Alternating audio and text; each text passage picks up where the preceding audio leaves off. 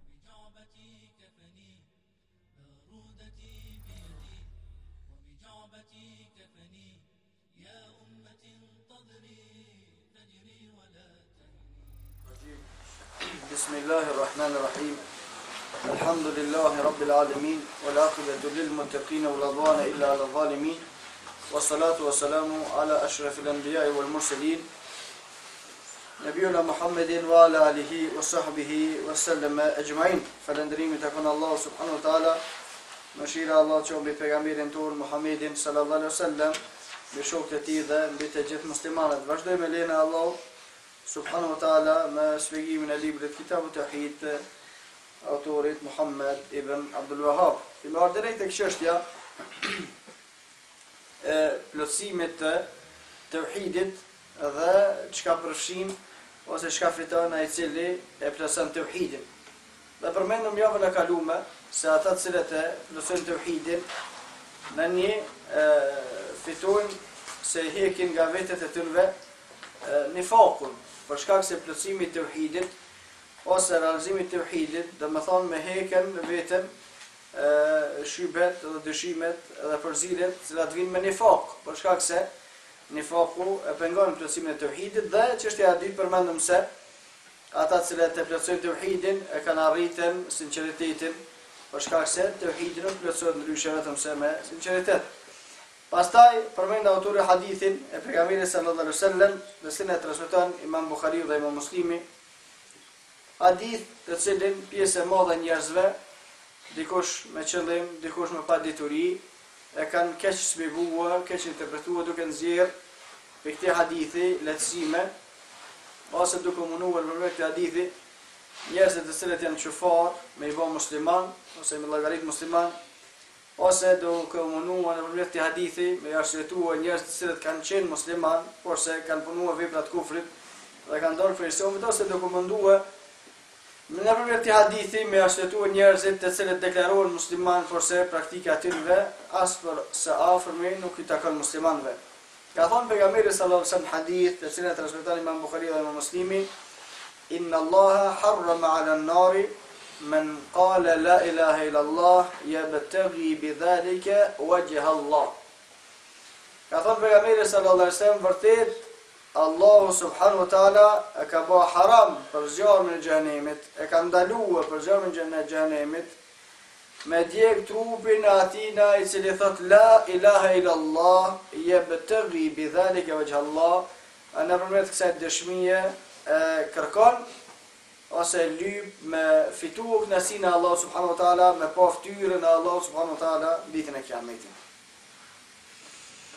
Dhe hadithi inna Allaha harrama ala an-nari men kale la ilahe ila Allah jebtegi bidhalike vexhhe Allah vërtet Allah subhanahu wa taala ka ndaluë për zjarmin e xhehenemit me djek trupin e atina i cili thot la ilahe ila Allah e nëpërmes kësaj dëshmie e kërkon ftyrën e Allahut shpërblimin e Allahut takimin e Allahut ditën e kiametit hadithin e transmeton imam Buhariu dhe imam Muslimi por se Nuk ka të drejtë kërkush me këtë hadith me arsyetue njerëzit të cilët thonë la ilahe illallah dhe e bëjnë kufër. Nuk është qëllimi i këtij hadithi kështu.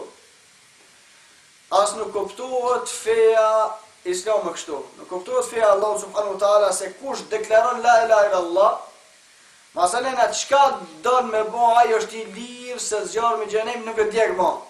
Kështu e kanë shpjegue El Murxhie këtë hadith, Kush thot me fjalën me gojën e tij la ilahe ila Allah, tash masanena ma çka do që bën ai, ai nuk është kafir, për shkak se ka thonë pejgamberi sallallahu alaihi wasallam Allahu e ka bo haram për zjarmin e xhehenemit atë që thot la ilahe ila Allah. Dhe sqarimi është nëpërmjet dy mënyrave, sqarimi është nëpërmjet dy rrugëve. Rruga e parë, ata të cilët thonë la ilaha illallah, nuk janë të mbrojtur, as nuk kanë garanci nëse nuk largohen nga kufri dhe nga shirku. Dhe kjo është çështja e parë shumë e rëndësishme. A çështja e dytë është ata të cilët thonë la ilaha illallah dhe e plotësojnë atë të cilën e kërkon kjo fjalë. Dhe këto dy çështje janë shumë të rëndësishme me i marr vesh muslimanët. Dhe për këtë Muhamed Abdulvahabi në atë kohë ka shpjegu këto çështje për shkak se këto çështje ishin të përziera tek masa, tek populli. Se vetëm dëshmia, vetëm deklarata la ilahe illallah, nëse nuk largohesh nga shirku nuk vlen. Dhe nëse nuk i plotëson kushtet të cilat i kërkon kjo fjalë nuk vlen. Dhe këtë e kemi sqaruar në dersin e kalume, në fillimet në derset e para, se Allahu subhanahu wa taala kur i ka çue pejgamberët i ka urdhënue me i thon njerëzve adhuroni Allahun wa ixhtenibu tagut, largoni prej kufrit. Dhe kemi thonë se nëse adhurohet Allahu dhe nuk largohemi nga taguti, kjo kafir, nuk është musliman. për shkak se nuk ka mohu kufrin, nuk ka heken kufrin, nuk u distancu prej kufrit. Dhe kemi përmend rastin e Ibrahimit alayhis salam, të cilin Allahu subhanahu wa taala ka sjell shembull në aspektin e akides, në aspektin e besimit, dhe në aspektet e tjera po veçanti n'këtë çështje ku Allahu subhanahu wa taala ka thonë Ju e keni shembull Ibrahimin alayhis salam kur i ka thonë babës vet dhe popullit vet, unë jom larg prej juve dhe asaj që adhuron ju, unë e adhuroj vetëm Allahun subhanahu wa taala. Dhe kemi përmenë se vetë ndërtimi i shahadetit, la ilahe, illa Allah, domethonë me mohue çdo adhurim tjetër veç Allahut, dhe me pohue adhurimin veç për Allah subhanu tala. Dhe kemi thonë se nëse dikush prej njerëzve e pohon adhurimin ndaj Allahut, por nuk i mohon, nuk i mohon adhurimet e tjera, ai nuk është musliman. Nëse një njeri e adhuron Allahun dhe bashkë me Allahun e adhuron dikon tjetër nuk është musliman. Nëse një njeri e adhuron Allahun, por nuk i mohon të tjerët të cilët adhurohen përveç Allahut subhanahu wa taala, ai nuk është musliman. Edhe nëse ka thon la ilaha illallah, për shkak se nuk e ka plotësuar kushtin e kufrit bi tagut, mohimi i gjithçka tjetër që adhurohet përveç Allahut. Dhe nëse besimtari nuk mohon gjithçka tjetër që adhurohet përveç Allahut subhanahu teala, ky nuk është besimtar. Për shembull, ka mundësi një njeri të thot la ilaha illa Allah dhe t'i lutet vorreve. Ai bon dua Allahut, t'i lutet Allahut, po lutet edhe vorreve. E pse ka thonë ky la ilaha illa Allah, a ka me hi n'xhennet?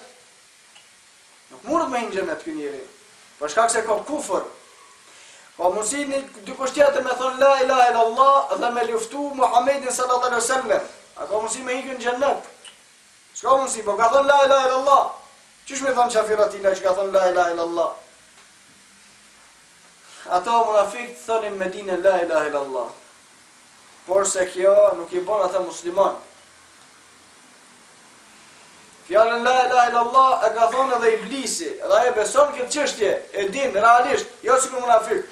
Ai e din vërtet se Allah nuk meriton të adhurohet kërkush tjetër veç Allahu subhanahu wa taala. Por a bën iblisin të jetë musliman? Normal me rregullat e murxhive, Iblisit duhet nuk bën me i thënë kafir. Me rregullat e tynve, me besimin e tynve, me akiden e tynve.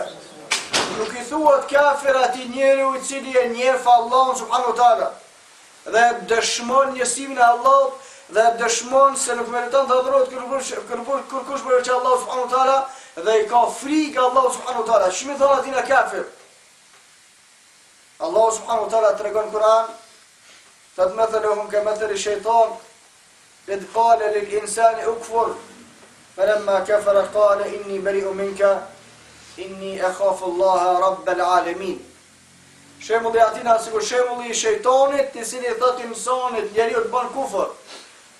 Mohoje Allahun subhanu tala. Kur njeriu e mohon Allahun, shejtani thot inni bari'un mink, unë jam larg prej teje.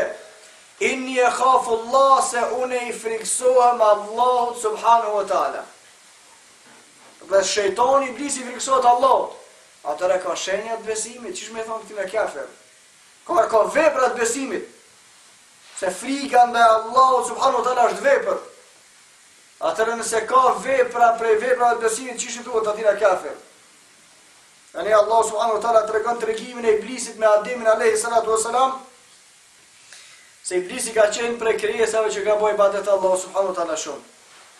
Dhe për shkak të ibadeteve, adhurimeve që i bënte Allahu subhanahu wa taala ka arrit gradën e melaikeve, me jetuar me melaiket, me jetu në qiell.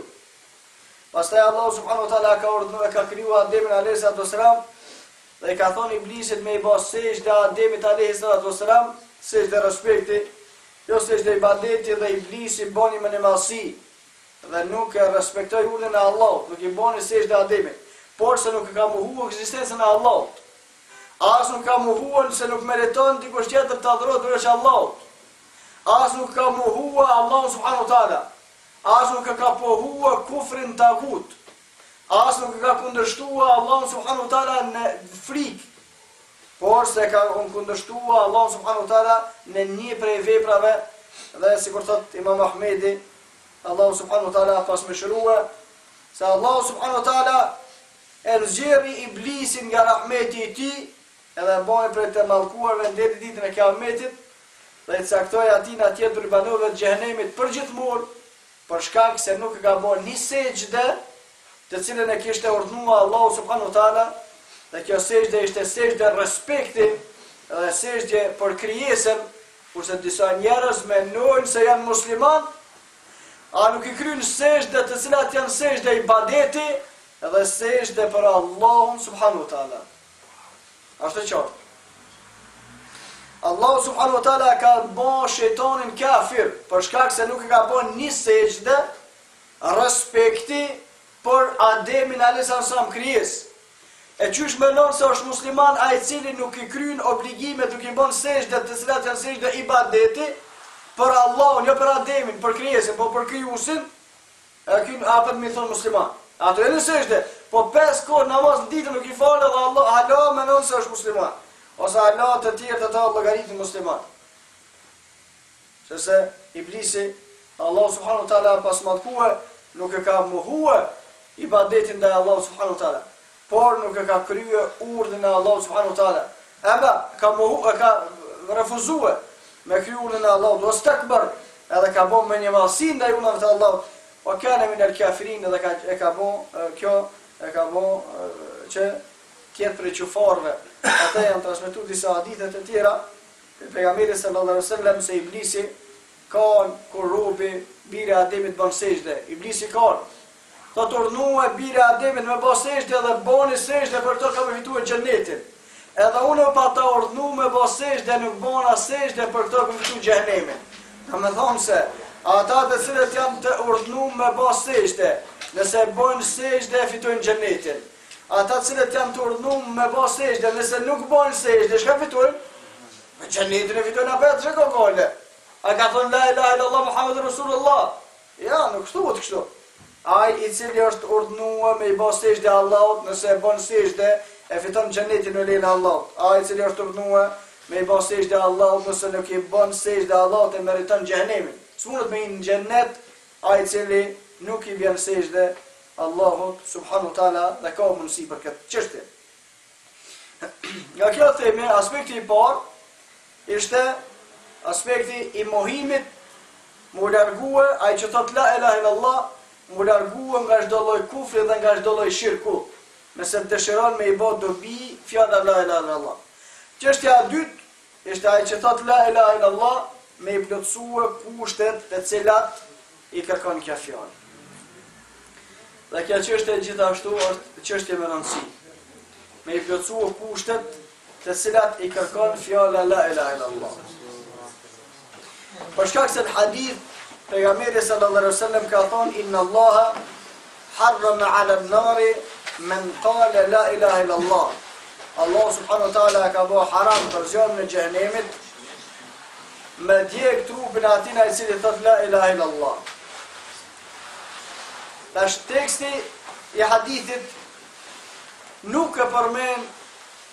Ate i cili thot Muhammedun Resulullah. Teksti i hadithit, me ate që argumentohen ata të cilët dëshirojnë me e shtremua shpjegimin e këtij hadithi, këtë hadith nuk përmenet Muhammedi sallallahu aleyhi wa sallam. Atëherë sipas shpjegimit të tyre duhet me thonë ai i cili thot la ilaha illallah, edhe nëse nuk e beson Muhammedin sallallahu alaihi wasallam, ai ka me hi në xhennet. A ka mundësi dikush me hi në xhennet që nuk e beson Muhammedin sallallahu alaihi wasallam? S'ka mundësi. Për shkak se pejgamberi sallallahu alaihi wasallam e plotëson këtë hadith me hadithe të tjera. Dhe hadithe të tjera prej tynve pejgamberi sallallahu alaihi wasallam ka thonë nuk ka njeri Të jetë prej jehudive, të jetë prej krishterve kush do të jetë i cili dëgjon për mua, dëgjon për Muhamedin sallallahu alaihi wasallam. E pastaj nuk e beson masi që ka dëgjuar për të, veç se ka me shti Allahu në xhehenem. Atëre a ka mundësi një njeri i cili thot la ilaha illa Allah, por nuk thot Muhammed Rasulullah me hin xhenet? S'ka mundësi me hin xhenet ai, për shkak se nuk e ka plotësuar atë të cilën e kërkon fjala la ilaha illa Allah. Dhe kjo çështje e shpjegimit të hadithit është i njëjtë me shpjegimin e hadithit të bitakës, hadithi i kartelës, hadithi i njohur dhe i shpërndarë mes njerëzve, gjithashtu me atë dëshirojnë me arsyetu disa njerëz se mundet me hin xhenet edhe ai që s'falet, mundet me hin xhenet ai që s'kryn ibadete, mundet mos me u kon kafir ai i cili E mohon Allahu subhanahu wa taala, nuk i thojmë qafir atijna i cili nuk punon, nuk i thojmë qafir atijna i cili i bën kufre të tjera. Me këto argumentojnë, për shkak se pejgamberi sallallahu alaihi wasallam ka thënë hadith, ditën e kiametit vjen një njeri ka 100 regjistra. Dhe regjistrat janë prej se ku lind dielli e ku perëndon gjithë secilin regjistër ka gjynahe. Por se pejgamberi sallallahu alaihi wasallam nuk e ka përmenë se në ato regjistre ky njeri ka kufër. As nuk ka përmend se në ato regjistre ky njeri ka shirk. Pastaj, kur i shef gjitha këto gjynahe, Allahu subhanu wa ta'ala e bjen një regjister në të cilin shkruhet fjala La ilahe illallah. E vetë personi kur e shef këtë fletë, e kur e shef këtë këtë shënim, me veten e tij thotë çka ka mundësi me ndihmua mua kjo fletë e shkruar me La ilahe illallah, kurse 100 të tjera janë të mbushura me gjynahe prej ku lind dielli e perëndon. Dhe në këtë regjistër nuk përmend pejgamberi sallallahu alaihi wasallam, se aty i shkruan la ilaha illa allah muhammedun rasulullah. Pra do të thonë këtij njeri i shkruan la ilaha illa allah. A them se ky njeri ka shpëtuar se i shkruan la ilaha illa allah, edhe pse nuk e ka besuar pejgamberin sallallahu alaihi wasallam? Atëherë me këtë do të me qit fenë poshtë menjëherë. Me thënë se besimi në Pejgamberin sallallahu alejhi ve sellem nuk është prej kushteve të imanit. Edhe ai që don me besu Pejgamberin sallallahu alejhi ve sellem e beson, ai që s'don mos ta beson se ka me hi në xhennet nëse ka thonë la ilahe illallah. Porse qëllimi ose kuptimi real i këtij hadithi është se ky njeri ka pas gjynahe, dhe e vërtetë është se ka pas gjynahe, porse ka pas tevhid, dhe ai i cili ka tevhid, tevhidi i tijna besimi i tijna është më i rëndësishëm dhe më i vlefshëm se sa gjynahet e tijna. Kurse ai që ka kufër dhe shirk, tevhidi i tij na u prish, më nuk është i vlefshëm. Dhe kjo është edhe mesatarja e Ehlusunnetit dhe Xhematit, të cilët besojnë se ai i cili ai musliman i cili ka gjynahe sa do që të jenë gjynahet e tina të mëdha, ai është musliman. Por deri sa nuk ka arrit gradën e kufrit dhe shirkut, kurse ai i cili në veten e tij ka kufër dhe shirk, sa do që të jenë veprat e tij të mëdha, ai nuk llogaritet musliman,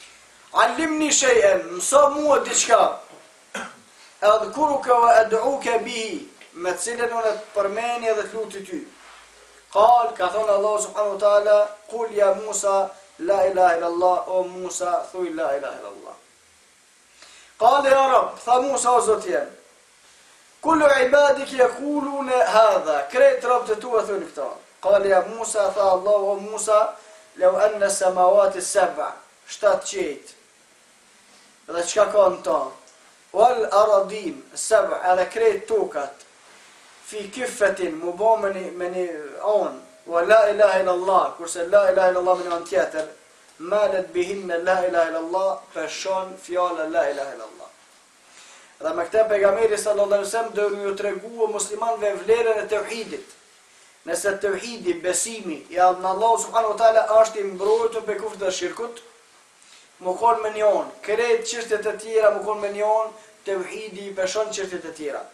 Dhe kjo është shpjegimi i kapitullit të cilin e ka emërtue Muhammed ibn Abdul Vehabi, Plotësimi i teuhidit dhe çka falë prej gjynaheve teuhidi. Do thonë nëse një njeri e realizon teuhidin, teuhidi i tina është më i madh se krejt gjynahet e tij që i ka bo. Ka thonë pejgamberi sallallahu alaihi wasallam, ka thonë Allahu subhanahu wa taala, "Ja bne Adem, o bir i Ademit."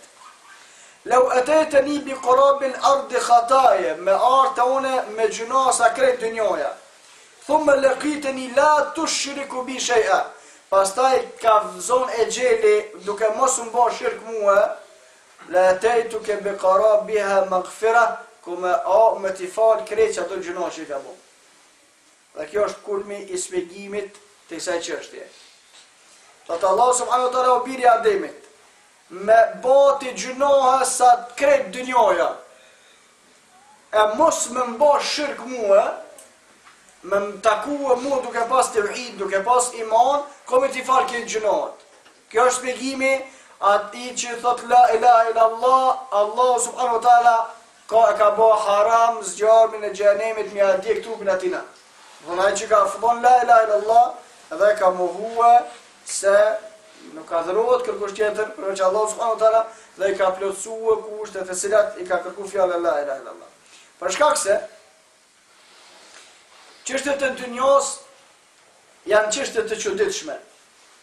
Edhe njeriu, këtë dynja, për disa arsye, ose për disa interesa, ose për frikë, mundohet me ndryshue atë të cilin e ka zbritë Allah subhanu tala dhe atë të cilin e ka thonë pejgamberi sallallahu sallam. Ose, me spjegua atë duke u pështjellua njerëzve çështjet.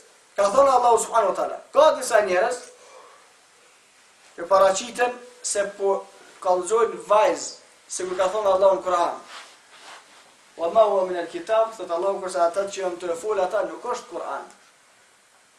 Wa yaquluna huwa min indillah, kur të folin thonë qështu ka thënë Allahu. Wa ma huwa min indillah, kurse këta që e thonë ata nuk është prej Allahut.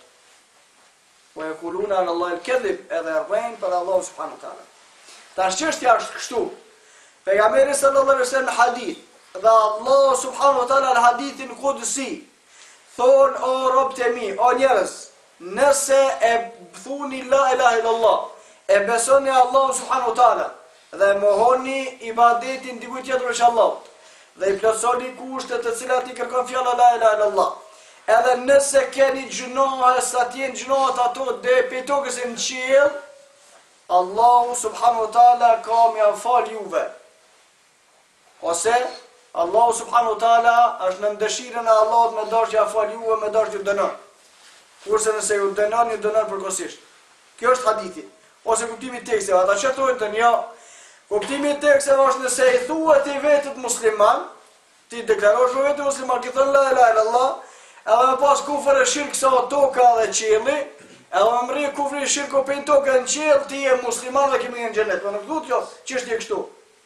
Dhe kjo fe nëse thuhet nëse dikush prej njerëzve thotë kështu atëherë ky është duke pshtjellë duke rrejtë se këto fjalë janë prej Allahut a këto fjalë nuk janë prej Allahut duke rrejtë se këto fjalë i ka thonë në Kur'an kurse këto çështje nuk janë prej Kur'anit për shkak se çështja e njohur shumë mirë e njohur është se çdo kush i cili e takon Allahun subhanuhu teala duke bërë shirk ai nuk mundet me pështue prej dënimit të Allahut subhanuhu teala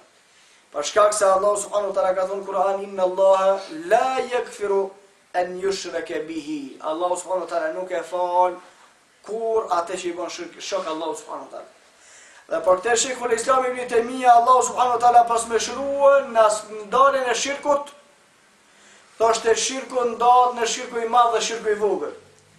Dhe gjithsecili prej tyneve gjithsesi se ka me hi në xhehenem. Ai cili bën shirk të madh, edhe ai cili bën shirk të vogël, ai gjithsesi se ka me hi në xhehenem, nëse vdes i papendu. Ai që ka bërë shirk të vogël ka me hi në xhehenem patjetër, por se ka me hi përkohësisht.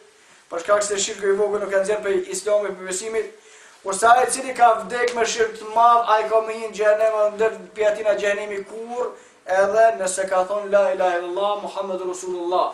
Edhe nëse është fal, edhe nëse është agjëruar, edhe nëse ka shkuar në haxh, edhe nëse ka dhënë zeqat, edhe nëse ka bërë xhihad fi sabilillah, i ka bërë shirk Allahu subhanahu wa taala dhe ka vdek pa u penduar, ai njeri ka me hi në xhehenem për shkak se Allahu subhanahu wa taala ka thënë në Kur'an wa laqad uhiya ilayka wa ila alladhina min qablika la in ashrakta la yahbatan 'amaluka wa la takunanna min al-khasirin na po ta shpallim ty në Kur'an sikur që kemi shpall krejt pejgamber përpara nëse i bëni shok Allahut nëse bëni kufër nëse bëni shirk nëse e prishni këtë besim Allahu subhanahu wa taala ka me asgjësue bes imanin që keni pas